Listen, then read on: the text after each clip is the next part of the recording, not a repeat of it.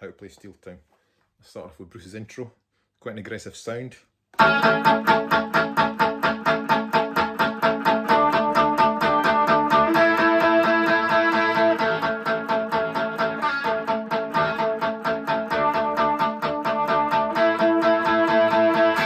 It's fairly simple, just uh, two strings, the G and the B string, second fret, and you're going up to the third fret and the fifth fret.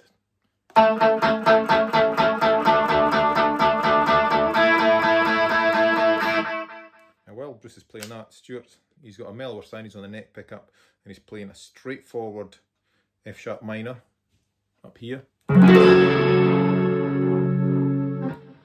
Then he's playing a D9, which means it's like a D major type chord. Instead of having that note, you've got that one there.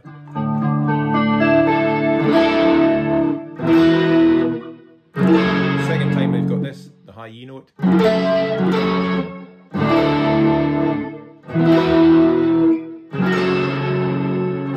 Then it's just pair of strings, it's the D at the 7th fret and the G at the ninth fret. That's that, and Bruce is going. Right, so what I'll do is I'll continue on Bruce's part behind the sort of main riff, which also sits behind the first part of the uh, verses. So it's probably easier if you watch it very closely rather than tell you all the fret positions and so on. But you're playing in pairs of strings. And you're doing what's called pick, I like to call it pick rolling when you're.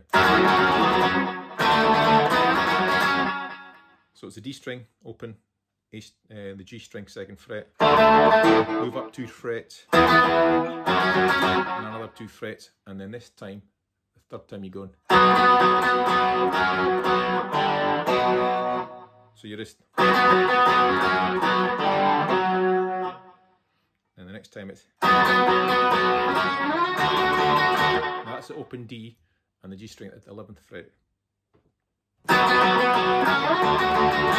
And down to here, D string, 9th fret, and the G in the 7th fret. And the G up to the 9th and back. Then the D on the 7th fret, G on the 6th fret.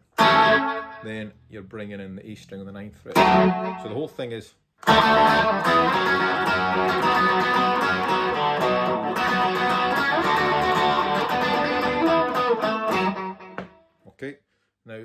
Bruce is playing that, Stuart's playing some quite similar on the low notes, but he's staying around these lower frets. Uh, he's got a neck pickup sound, so I'm going to switch again. So what Stuart's doing is. So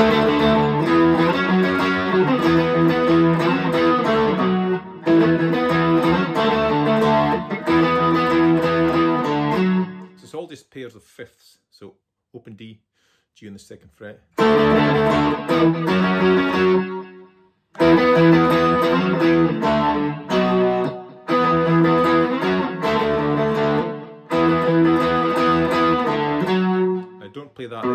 It sounds out. So you're just coming down to the uh, that uh, F sharp note on its own. And you're playing that twice, and that's the first part of the verse. The second part of the verse is where it gets interesting. So I'll do Bruce's bit first. Bruce is just playing some bar chords up top here, but there's a nice little bit of articulation on it. So the first one here, I guess that's an F sharp, F sharp minor seventh. You're not really hearing this note coming through. Okay, you can actually play it there. Play that open A because that's kind of in key of the song, but uh, it seems to be a full bar chord, but that note's almost muted. Okay, so the first chord is. Yep, so it's this uh, F sharp minor 7. Then you bring in the high E note. And then that there, it's, uh, I guess it's an E7. You're not really hearing much of that note, but it's. Uh,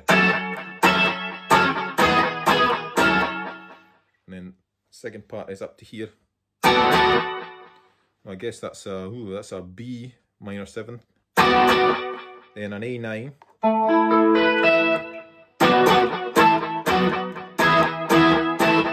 So that there, just an E bar E chord, 12th fret.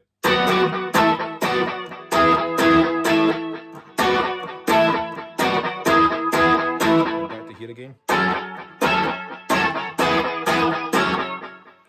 And while he's doing that, Stuart's playing this, which is uh, got his trademark open notes, and drone notes and so on. Uh, so there's quite a lot going on here. So I'll try and I'll try and it's probably easier to watch it rather than explain it uh, with all the fret numbers uh, as I mentioned earlier. So watch very carefully.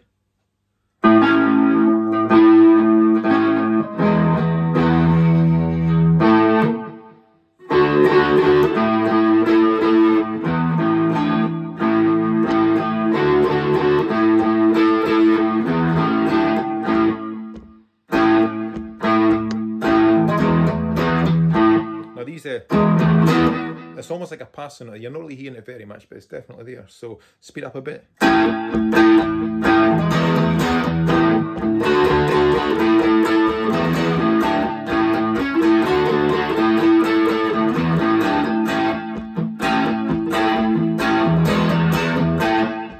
That bit when I'm going I'm playing both the D and the G string the 14th fret to get that A minor chord. Um,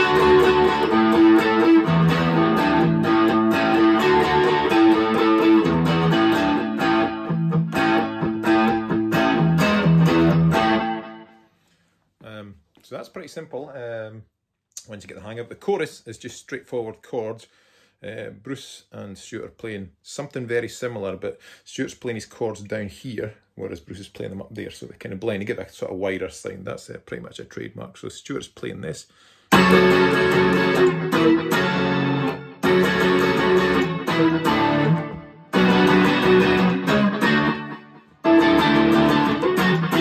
That's his ninth chords again.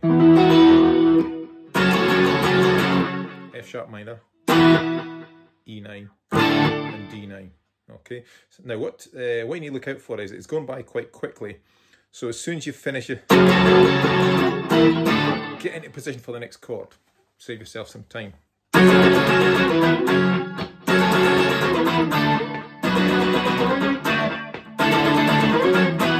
that's just repeated um, for the chorus. And Bruce is playing something very similar, but he's away up here at the 14th and 12th frets.